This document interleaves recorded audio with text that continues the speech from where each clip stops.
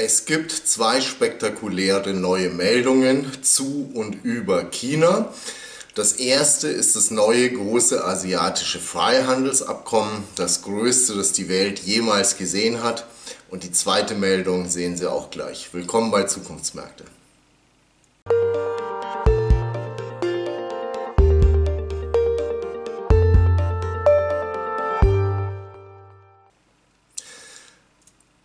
Herzlich willkommen und äh, bevor ich jetzt wieder in Euphorie verfalle und wieder mal einen super euphorischen Beitrag abliefere zu China und zu chinesischen Aktien, erstmal ein Wort zur Warnung für all die, die denken, China würde jetzt wieder gut dastehen.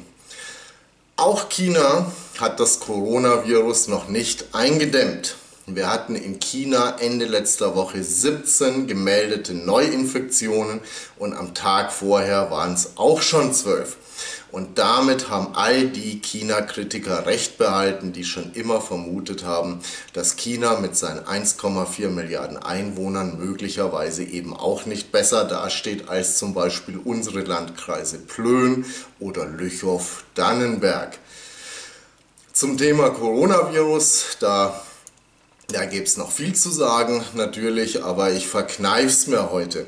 Ich bin ja letzte Woche schon äh, von etlichen Zuschauern dafür gerügt worden, für meine dreiste Behauptung, Joe Biden wäre der nächste US-Präsident in der mir eigenen vorschnellen, nassforschen Art und Weise habe ich das behauptet. Es ging in dem Video zwar gar nicht um die Wahl an sich und um die Finessen, die es da vielleicht noch gibt, sondern es ging um US-Technologiekonzerne und was für die kommen könnte, wenn Joe Biden Präsident ist. Und die Prämisse dafür war, dass Joe Biden Präsident ist. Aber da gehen die Meinungen wohl noch sehr auseinander, wie ich wieder gesehen habe. Ich will das Ganze gar nicht äh, großartig kommentieren jetzt. Vielleicht nur so viel. Wichtig ist, gerade wenn man als Anleger unterwegs ist, die Finanzmärkte werden meistens beherrscht von Konsensüberzeugungen. Darüber muss man sich immer im Klaren sein, auch wenn man die Welt vielleicht selbst äh, völlig anders sieht. Man muss das trotzdem in Rechnung stellen. Die Welt ist rund, die Sonne geht im Osten auf, Joe Biden ist der nächste US-Präsident. Das sind zurzeit unsere Konsensüberzeugungen. Und das ist jetzt wahrscheinlich auch der Punkt, äh, wo die Hälfte von unseren Zuschauern aussteigt. Ich kann Sie aber beruhigen, wenn Sie selbst eine völlig andere Meinung haben als die anderen, also eine Dissidentenmeinung sozusagen, dann ist das gerade am Finanzmarkt ja manchmal wirklich pures Gold wert, muss man auch so sehen. Aber das ist es natürlich hauptsächlich dann, wenn Sie am Ende Recht haben. Und das ist der schwierige Teil, sich immer wieder zu fragen, bin ich jetzt plemplem oder ist der Markt plemplem? Aber grundsätzlich eine abweichende Meinung ist immer interessant, wenn man Anleger ist, weil dann hat man nämlich schon mal eine Arbeitshypothese, wo man dann ansetzen kann am Markt. Und zum Coronavirus, zur Coronavirenkrise nur so viel jetzt. Die USA haben jeden Tag mehr registrierte Neuinfektionen als China seit Ausbruch dieser Seuche insgesamt gehabt hat. Ist den Börsen aber relativ egal. Die interessieren sich nicht äh, für die Neuinfektion, die interessieren sich auch so gut wie nicht dafür, wo es gerade wieder gut läuft und wo es noch schlecht läuft. Was die Börsen wollen, das sind Nullzinsen und Stimulusprogramme.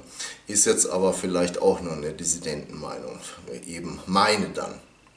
Aber wie gesagt, China im Gegensatz zu uns hat das Virus in großen Teil eingedämmt. Äh, der Laden brummt wieder und das schon seit Monaten.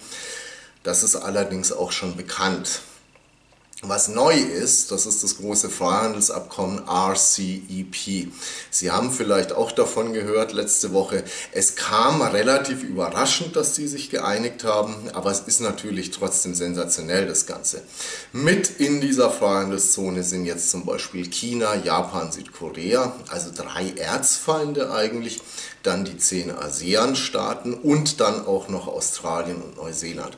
Also eine bunte Mischung und es ist aber auch gleich gleichzeitig ein riesiger Wirtschaftsblock, 2,2 Milliarden Menschen und 30 Prozent der globalen Wirtschaftsleistung. Und damit ist das Ganze jetzt auch die größte Freihandelszone der Welt. Für den Westen, vor allem für die USA, ist das ein Desaster. Die USA hatten ja eigentlich schon TTP, die Transpazifische Partnerschaft, mit vielen wichtigen Pazifikstaaten, auch äh, welche aus Lateinamerika, die da angrenzen. Und äh, letztlich ja unter Führung der USA und unter Ausschluss Chinas. Das war damals also schon sehr aggressiv und die USA hätten damit ihren Einfluss in der Region auch zementiert. Und das Ganze war sogar schon unterschrieben, aber Donald Trump hat ja nichts Besseres zu tun gehabt, als das den Partnern dann sofort wieder vor die Füße zu werfen. Donald Trump ist China zwar hart angegangen die letzten Jahre, aber aus Sicht Chinas allein das, dass er aus TTP ausgestiegen ist, das war die Sache schon wert. Und sie müssten ihm eigentlich ein Denkmal bauen, gleich neben der Mao-Gedenkhalle. Denn damit hat er ihnen wirklich einen unglaublichen Gefallen getan. TTP ist jetzt nur noch ein Rumpf und das entscheidende Bündnis in der Region ist jetzt das neue RCEP unter der Führung Chinas. Vielleicht kriegt er ja kein Denkmal in China, aber zumindest einen schönen Job bei PetroChina, so wie Schröder bei Gazprom. Ganz einfach mal für besondere Verdienste. Was es die EU betrifft, da ist es vielleicht nicht unbedingt direkt eine Niederlage äh, für die EU, aber man sieht natürlich auch im äh, Zusammenhang mit der EU, wo die Reise gerade hingeht. Die EU steht nämlich auch ein bisschen armselig da gerade. Das TTIP damals, das Abkommen mit den USA, ist ja vor vier Jahren auch gescheitert. Dieses Jahr ist Großbritannien ausgetreten, der Brexit. Und wir hatten ja zum Beispiel dieses Abkommen mit den Mercosur-Staaten in Lateinamerika, das 20 Jahre lang verhandelt worden ist und das jetzt aber so gut wie tot ist. Ich verstehe, dass es bei sowas immer Bedenken gibt. Solche Abkommen haben natürlich auch ihre Schattenseiten, aber man muss dann eben weitersprechen und das auch irgendwie lösen irgendwann mal. Und dass man so eine Chance aber grundsätzlich gehabt hat und dass man das derart vergeigt, so wie es die EU gerade gemacht hat, das ist eigentlich nicht nachvollziehbar. Asien ist uns da weit voraus momentan. Wie gesagt, China, Japan, Korea sind ja eigentlich Rivalen gewesen. Oder auch im Moment China und Australien, da hatten wir ja auch wieder große Spannungen. Und was noch dazu kommt, ist ja, dass die Länder auch grundsätzlich sehr unterschiedlich sind. Also nehmen Sie Japan und Australien mit einem sehr hohen Lebensstandard und auf der anderen Seite Länder wie Kambodscha, Laos, Myanmar. Das ist ja auch ein riesiges Wohlstandsgefälle. Aber trotzdem, trotz dieser Spannungen, trotz dieser Unterschiede, haben es diese Länder eben alle geschafft, sich zusammenzutun und sich zu einigen. Und das ist wirklich eine Leistung, eine Leistung, die sich aber auch auszahlen wird am Ende. Vor allem wirtschaftlich, aber auch politisch wahrscheinlich. Ich kann mir durchaus vorstellen, dass dadurch die Spannungen in der Region auch wieder abnehmen. Wer profitiert am meisten? Im Grunde profitiert jeder, der in der Region gute Produkte hat, die er auch exportieren kann. Natürlich handeln die jetzt schon alle äh, untereinander, ist völlig klar. Aber in Zukunft werden eben 90 Prozent von allen Zöllen auf Waren und mindestens 65 Prozent von allen Zöllen auf Dienstleistungen wegfallen. Das heißt, das Ganze wird für viele Unternehmen interessant in der Region. Was die Länder betrifft, ich bin mir noch nicht mal sicher, ob China das Land ist, das von der Freihandelszone am meisten profitieren wird. Ich kann mir auch gut vorstellen, dass zum Beispiel bei den ASEAN-Staaten, dass es da ein paar gibt, Singapur zum Beispiel, Vietnam, aber auch Philippinen, Kambodscha, die vielleicht sogar noch stärker davon profitieren. Entscheidend ist aber, dass es ja sowieso schon die Region ist, die seit Jahren weltweit am stärksten wächst. Und jetzt haben wir aber noch diese Freihandelszone obendrauf.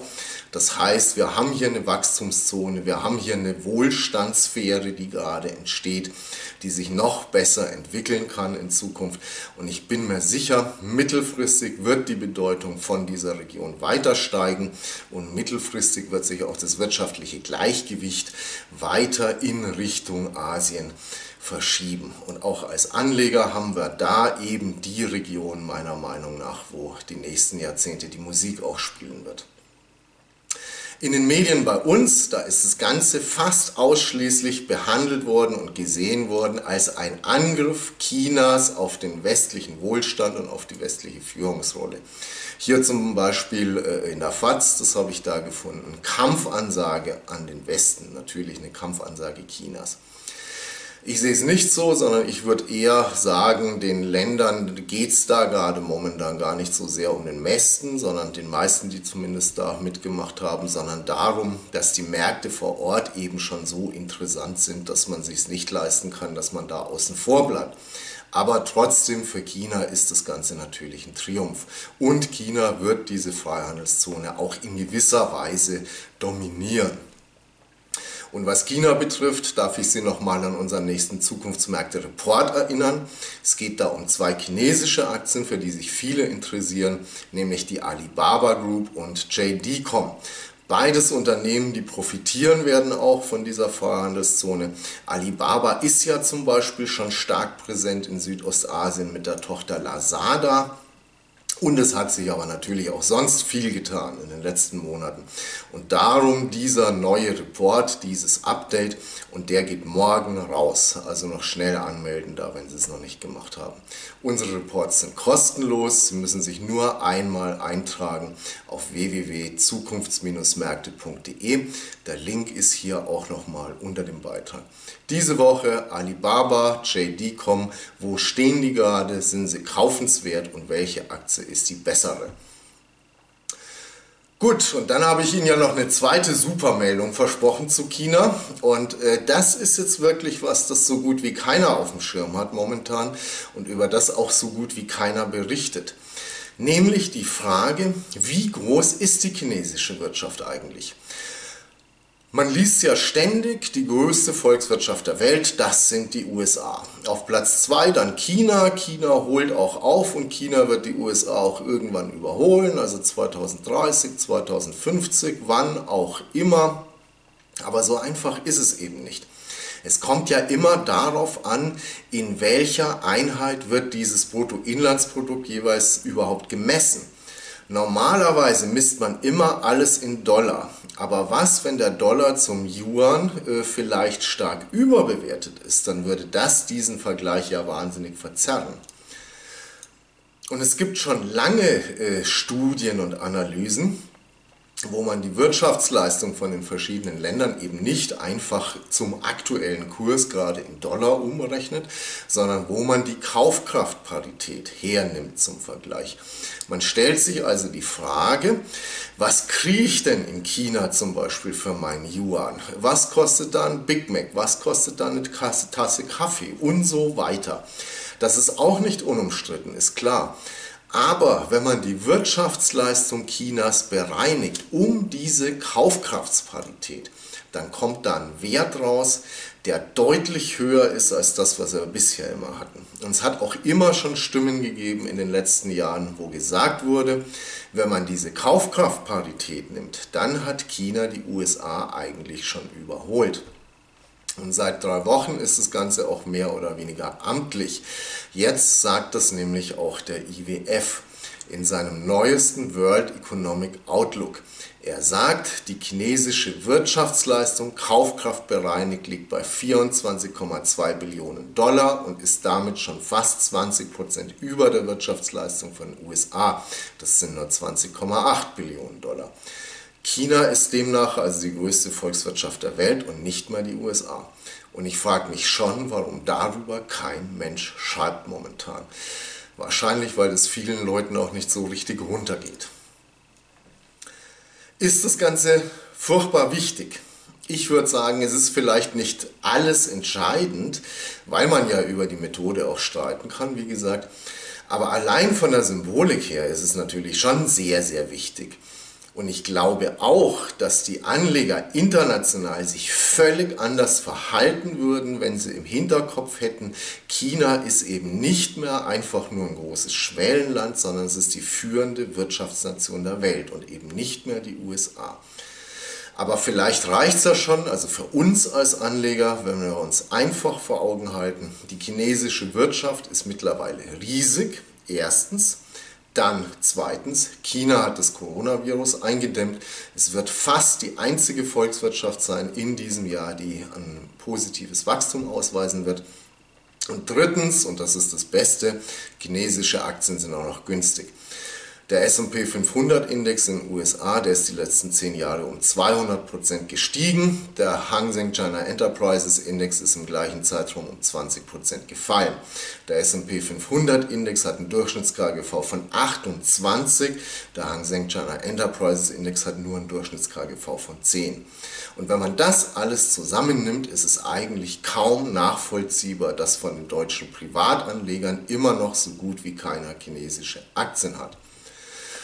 Und wenn Sie dieses Thema noch vertiefen wollen, es gibt da ein weiteres hervorragendes Video dazu, und zwar von meinem geschätzten Kollegen Sebastian Hell. Ich glaube, dass ich Ihnen schon mal das Buch hier gezeigt habe.